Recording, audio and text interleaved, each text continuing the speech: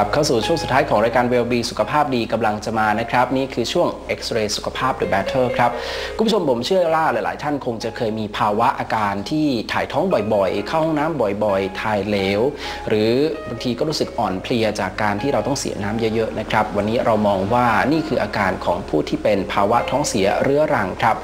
เราจะมาแบทเทิลกันในมุมมองที่อาจจะเหมือนหรือแตกต่าง ทั้งเรื่องของการวินิจฉัยและแนวทางการรักษานะครับในแพทย์แผนจีนกับแพทย์ผนไทยครับ เราจะเริ่มต้นกันที่มุมมองของแพทย์แผนจีนกันก่อนนะครับ รายการเวลบีได้รับเกียรติจากแพทย์จีนชัชนันจำลอย จะมาอธิบายภาวะท้องเสียเรื้อรังให้เราได้ทราบกันครับ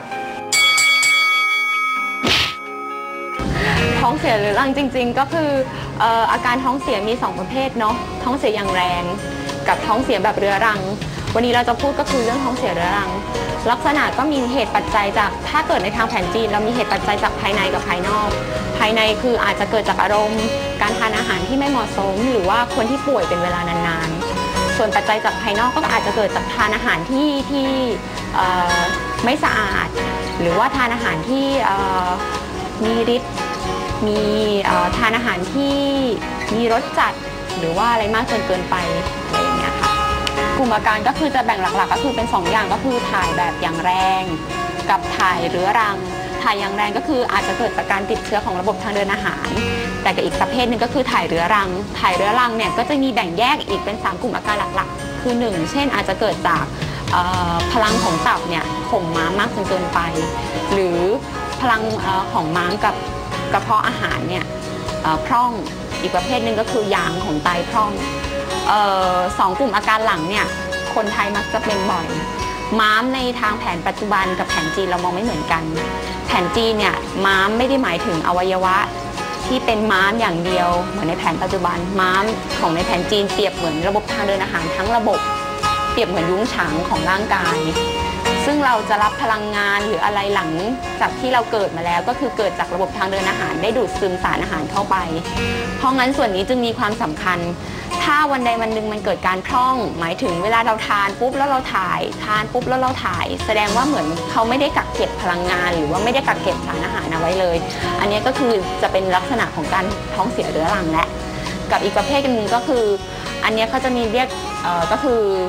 ยางของไตพร่องยางของไตพร่องมีอีกชื่อหนึ่งคืออุกเกิลเซีย คือคนคนไข้ประเภทนี้มีลักษณะแปลกคือ ต้องตื่นมาขับถ่ายตอนตีห้าทุกวัน คือช่วงเวลานั้นเป็นช่วงของลำไส้ใหญ่ก็จริง แต่ว่าลักษณะท้องเสียกับการขับถ่ายปกติไม่เหมือนกัน การขับถ่ายปกติจะต้องมีกากใยอาหาร จะต้องมองเห็นว่าสิ่งที่เราทานไปออกมาหมดไหม แต่คนที่ลักษณะท้องเสียเรื้อรังเนี่ยเขาจะไม่ถ่ายแบบ มีกากใยอะจะถ่ายน้ำมากมากกว่าเนื้อเนื้อกากใยอะไรอย่างเงี้ยลักษณะของคนไข้ที่หยางของไตพ่องเนี่ยช่วงปีห้าเขาจะถ่ายอย่างเงี้ยทุกวันเลย ลักษณะตรงนี้ก็คือความผิดปกติที่เกิดจากการท้องเสียเรื้อรัง ก็ต้องดูกลุ่มอาการเป็นหลักว่าลักษณะของเขาเป็นยังไงเนาะวิธีการรักษาคือต้องดูที่ต้นเหตุเหมือนเดิม ต้นเหตุสมมติเกิดจากม้ามกับทางเดินอาหารพร่อง แสดงว่าคุณทานอาหารที่ ไม่อาจจะไม่เหมาะสม เช่นคนชอบทานของมันเป็นเวลานานๆ ของทอดเป็นเวลานานๆ ม้ามเนี่ยเปรียบเหมือนน้ำเต็มแก้ว คือเขามีความชุ่มชื้นของเขาอยู่แล้ว ถ้าคุณเอาความชุ่มชื้นหรือว่าเอาน้ำหรือเอาของชื้นใส่เพิ่มไปมันก็เหมือนน้ำล้นแก้ว มันก็ทำให้เกิดการพร่องทำให้เกิดการทำงานที่ไม่สมดุล เพราะฉะนั้นก็คือต้องปรับการทานอาหารให้สมดุลยิ่งขึ้น แล้วก็ส่วนคนที่เส้นหยางซีเส้นหยางซีก็คืออย่างของไตพองเนี่ยอาจจะเกิดจากการดูแลตัวเองไม่ดี เพราะไตเนี่ยจะฟื้นฟูได้ดีก็คือช่วงที่เรานอนหลับ อาจจะพักผ่อนน้อย หรือว่าร่างกายอาจจะป่วยเรื้อรังเป็นเวลานาน ก็ต้องแก้ที่ตรงจุดนั้นไปค่ะ จะเห็นว่าในมุมมองของแพทย์แผนจีนนั้นเขามีการแบ่งเอาสาเหตุของภาวะท้องเสียเรื้อรังออกมาเป็น 2 ปัจจัยนะครับ ปัจจัยแรกก็คือเรื่องของปัจจัยภายในที่อาจจะเกิดจากอารมณ์เป็นเหตุครับ บางทีเราก็รู้สึกว่าเรามีภาวะความผิดปกติทางอารมณ์เกิดขึ้น ก็อาจจะเป็นปัจจัยภายในที่เกิดขึ้นได้ ส่วนปัจจัยภายนอกก็มาจากเรื่องของการรับประทานอาหารที่ไม่ถูกสุขลักษณะ รับประทานอาหารที่ไม่สะอาด หรือว่าแม้แต่การรับประทานอาหารที่มีรสชาติเผ็ดร้อน จนเป็นสาเหตุของภาวะท้องเสียเรื้อรังนั่นเองครับ เมื่อทราบปัจจัยภายในและปัจจัยภายนอกแล้วเนี่ยคุณหมอก็จะมาวินิจฉัยครับถึงเรื่องของแนวทางการรักษาว่าเอ๊ะจะทำยังไงดี ซึ่งให้ถูกต้องตามปัจจัยที่เกิดขึ้นนะครับ เพราะว่าเขาจะดูตามต้นเหตุก่อน ว่าอาการต้นเหตุนั้นนำไปสู่อาการอย่างไรนะครับ ถ้าหากเกิดจากอาหารก็จะต้องมีการปรับรูปแบบของการรับประทานใหม่ อาจจะเน้นเรื่องของสมดุลอาหารให้มากขึ้น เพื่อที่จะให้เกิดการปรับสมดุลในร่างกาย และบรรเทาอาการภาวะท้องเสียเรื้อรังนั่นเองนะครับ นี่คือมุมมองของแพทย์แผนจีนครับเราจะไปฟังมุมมองของแพทย์แผนไทยประยุกต์กันบ้างครับ รายการเวลบีได้รับเกียรติจากอาจารย์ดรสุวรรณตั้งจิตเจริญ จะมาวินิจฉัยเรื่องของภาวะท้องเสียเรื้อรังรวมถึงการแนะนำวิธีการรักษาให้คุณผู้ชมได้ทราบกันครับ ภาวะท้องเสียเรื้อรังนะครับ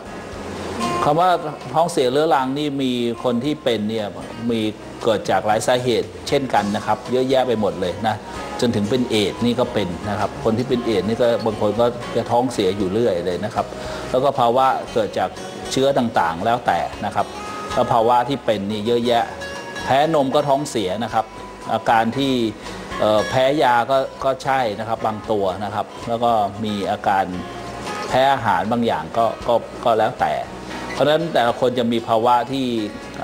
ท้องเสียเรื้อรังนี่ต้องดูสภาพด้วยบางคนเหมือนอาการแพ้อากาศก็แพ้อาหารก็มีก็ทำให้ท้องเสียได้ เพราะฉะนั้นตรงนี้ก็คือ แล้วแต่ว่าสิ่งที่มากระทบนี่โดนโดนอะไรบ้างคำว่าท้องเสียเรื้อรังบางครั้งเนี่ย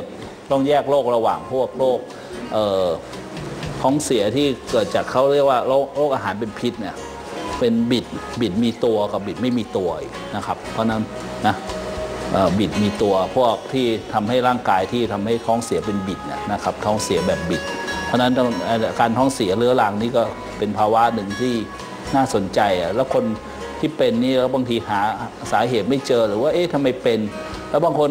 ท้องเสียสลับกับท้องผูกนะครับแล้วก็เดี๋ยวก็ไม่ถ่ายเดี๋ยวก็ถ่ายท้องเสีย แล้วก็ภาวะคนที่เป็นมะเร็งบ้างอะไรบางอย่างก็เป็นขึ้นมาได้นะเพราะอาการท้องเสียเรื้อรังนี่กว้างมากว่า เออไม่สามารถบอกว่าอาการเป็นโรคเฉพาะท้องเสียอย่างเดียว บางทีมันประกอบไปด้วยหลาย ๆ อย่างนะครับมีมีอาการร่วมด้วยหลาย ๆ อย่าง แล้วแต่ว่าเป็นโรคอะไรบ้างนะครับ เพราะฉะนั้นต้องดูที่มาที่ไปว่าวิเคราะห์ว่าคนนี้มาจากอะไรนะครับ ที่ทำให้เกิดท้องเสียเรื้อรังได้ เพราะฉะนั้นภาวะคนที่ท้องเสียเรื้อรังต้องต้องแยกโรคอีกว่าเขาเกิดจากอะไรมาก่อนนะครับ มีความเป็นมาอย่างไงนะครับ เพราะฉะนั้นมัน มันต้องมีที่มาก่อนว่าเขาก่อนที่ท้องเสียเรื้อรังนี้เขามีโรคประจำตัวอะไรบ้างมีตรงไหนอะไรมาบ้าง อันนี้ยกพอเป็นสังเขปครับการรักษาก็คือขึ้นกับตามสาเหตุเหมือนกัน เพราะนั้นเรารู้ว่าเขาเป็นอะไรอะใช่ไหมครับเพราะนั้นการรักษามันก็คือกว้างมากเหมือนกัน ไม่ใช่ว่าแค่ว่ารักษาเอายาหยอดไปท้องเสียจะหายบางครั้งมันไม่หาย เพราะนั้นการรักษาก็ต้องว่าไปตามเนื้อผ้าเหมือนกัน เพราะนั้นตามอาการตามโรคตามสาเหตุ เพราะฉะนั้นอาการโรคของของแต่ละคนเนี่ยผมว่าถ้าเป็นเอดอย่างเงี้ยเราก็รักษาสร้างภูมิคุ้มคุ้มกันให้เขาดีขึ้นภูมิต้านทานดีขึ้น หรือโรคอะไรที่เขาเป็นอย่างเงี้ยนะถ้าเขายกตัวอย่างอย่างเงี้ยนะเขาก็ต้องรักษาตรงนั้นด้วยเขาก็จะไม่ไม่ท้องเสียแล้วก็ระมัดระวังอาหารการกินนะครับ อาหารที่ย่อยง่ายแล้วบางคนมีอาการที่เป็นเรื่องของตับ หรือว่าตับเอ่อเรื่องร่างกายมันเสีย ถุงน้ำดีการย่อยถุงถุงน้ำดีอุดตันอะไรพวกนี้มันก็มีปัญหาเรื่องการระบบขับถ่ายนะครับ ระบบการย่อยนะครับมันก็จะเสียหน้าที่ไป เพราะฉะนั้นอาการหรือม้าเมิมอะไรต่างๆ ร่างกายภายภายในมันก็มีผลเกิดจากพยาธิพยาธิบางตัวก็ได้นะครับนะหนอนพยาธิที่มันก็เข้าไปอุดตันทำให้เกิดอาการท้องเสียก็มี เพราะฉะนั้นเราก็ต้องรักษาพยาธิสมมติอย่างเงี้ยมันก็มีอาการหลากหลาย เพราะฉะนั้น ต้องต้องค้นหาสาเหตุให้เจอ เพราะนั้นภาวะเขาเรียกเป็นภาวะ ภาวะท้องเสียเรื้อรังนี่ก็คือสิ่งที่เราจะต้องแก้ไขไปตามตามสภาพ เพราะนั้นตามภาวะเขาเรียกว่าสภาพเลยว่าคือเป็นอะไร เพราะนั้นไม่สามารถที่จะไปเอ่อไปไปไปใช้ใช้สูตรเดียวว่าจะรักษาแบบไหน เพราะนั้นภาวะต่างๆที่เป็นที่ยกตัวอย่างมานะครับ เพราะนั้นการที่จะรักษามันก็ต้องดูตามความเป็นจริงว่า มันได้แค่ไหนครับนะครับ เพราะฉะนั้นการรักษาก็ต้องว่าไปตามเนื้อผ้า แต่คือวิธีป้องกันก็คือเราจะทำยังไงให้ร่างกายแข็งแรงที่สุดนะครับ แล้วก็อาการพวกนี้มันก็จะดีขึ้นนะครับ สมัยก่อนมีการดีท็อกมีการล้างพิษอะไรต่างๆนะครับ เพราะฉะนั้นเราก็อยู่ที่ว่าเราจะดูแลตัวเองได้ยังไงนะครับ อาหารการกินที่ที่ดีเราก็จะทำให้เรา ลดภาวะที่ท้องเสียได้บางคนก็อย่างที่บอกอะแพ้แพ้แพ้นมแพ้แพ้น้ำน้ำนมถั่วเหลืองหรือแล้วแต่ประประเภทต่างๆ ก็มี เพราะนั้นเราก็ต้องดูว่าเราแพ้อะไร หรือบางคนขาดเอนไซม์ก็มีนะครับ ร่างกายก็ไม่สามารถที่จะมีการย่อยอาหารบางประเภทก็มี บางคนแพ้ไข่ก็มีแพ้หลายๆอย่าง ซึ่งแพ้นมวัวก็มี ซึ่งแปลกดีเด็ก ๆ บางคนก็แพ้ เพราะฉะนั้นบางครั้งเราไม่สามารถที่จะดูว่ามันยังไง เพราะฉะนั้นตรงนี้ถ้าจะอธิบายก็ต้องยกยกเคส by เคสมา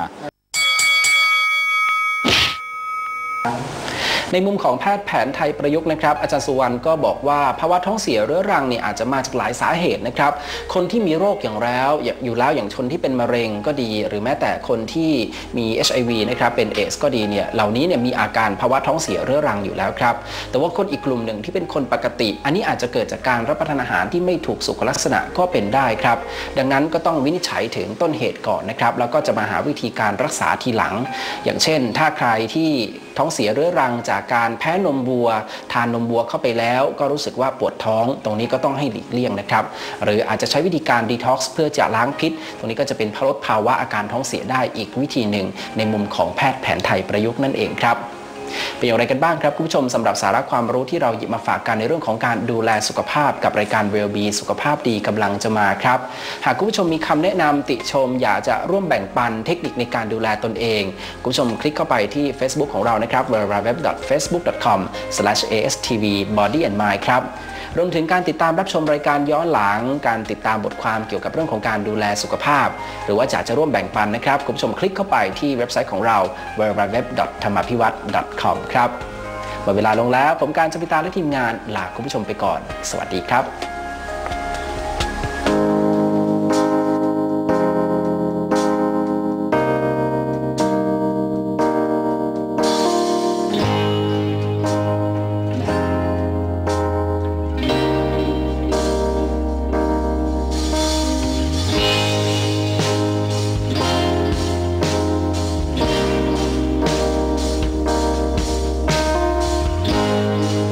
คุณผู้ชมครับ คุณผู้ชมก็สามารถร่วมเป็นส่วนหนึ่งของโครงการ Save News One ได้นะครับ ด้วยการร่วมกิจกรรมกับโครงการธรรมาพิวัตรครับ โดยเฉพาะกิจกรรมท่องเที่ยวท่องธรรม เนื่องจากรายได้หลังจากหักค่าใช้จ่ายแล้วก็จะเอามาเป็นทุนร้อนหมุนเวียน ในการผลิตสื่อดีๆ ให้กับคุณผู้ชมได้รับชม ทั้งรายการธรรมาพิวัตรรายการ Body and Mind และรายการ Well Be สุขภาพดีกำลังจะมา